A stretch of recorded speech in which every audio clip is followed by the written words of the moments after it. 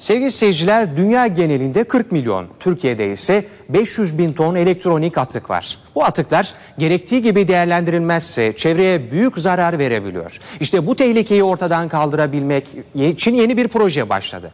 Ağaca dönüşen elektronik atıklar projesiyle toplanan atıklar ağaca dönüşüyor.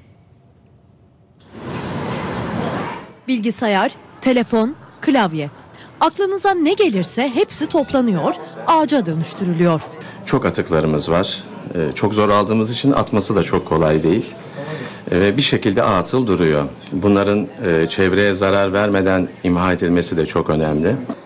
Dünya genelinde 40 milyon, Türkiye'de 500 bin ton elektronik atık var. Ama kimse bu atıkları biriktirmiyor.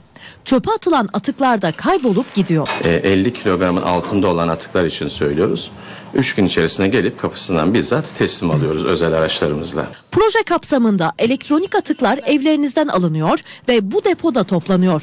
Parçalara ayrıldıktan sonra pres makinelerine atılıyor. Bunlardan elde edilen gelirse projeye aktarılıyor ve ağaçlandırma yapılıyor.